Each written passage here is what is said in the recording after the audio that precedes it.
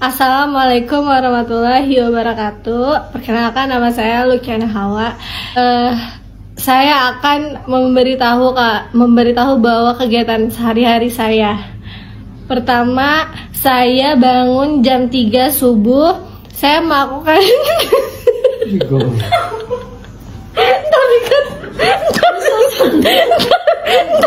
dulu. Jangan yang tiga kan terlalu pagi atau lu bohong gitu jam empat. Jam tiga lu bohong. Ya, tadi kan. Ya, ya, ya, ya, tadi kan, tadi kan. Ayo. Eh, Mama, ah, mama di mama, bapak. ah. Gak lucu. Kan sekali. Jangan. Mak, iya, enggak masuk. Udah nih, nih. Pak, jangan nender banget sih, Pak. Domelin masih Belum. Oh.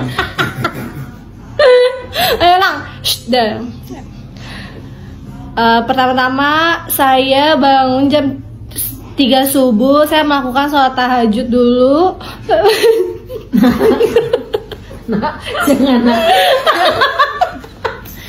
Jangan tahajud. Bohong. Jam empat aja. ah ya dari jam 4 nih mah ah. Malah justru dia tuh Ya nggak di- udah. Pertama saya bangun mulai dari jam 4 subuh. Saya melakukan sholat tahajud terlebih dahulu. Nah, dan saya mengantar adik saya ke sekolah.